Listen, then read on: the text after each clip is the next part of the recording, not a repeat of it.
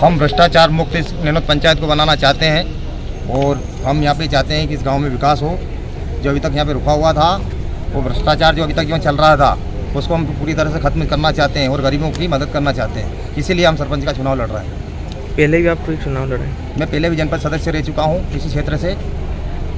पहले उप सरपंच भी रह चुका हूँ दस साल इसी पंचायत नैनोत पंचायत से। क्या मूलभूत सुविधा है आप देंगे पंचायत? मूलभूत सुविधा में सबसे बड़ी मूलभूत सुविधा में यहाँ पे पानी की समस्या है ड्रेनेज की समस्या है उसको हम दूर करेंगे। सबसे पहले जो पानी की जो अत्यंत यहाँ पे जो समस्या चल रही है जो अभी तक जो भी हुआ हम उसको पूरी तरह से उसको सब समाप्त करेंगे जितनी भी जो समस्या है वो भ्रष्टाचार मुक्त नैनत पंचायत को हम बनाएँगे। आपका परिचय?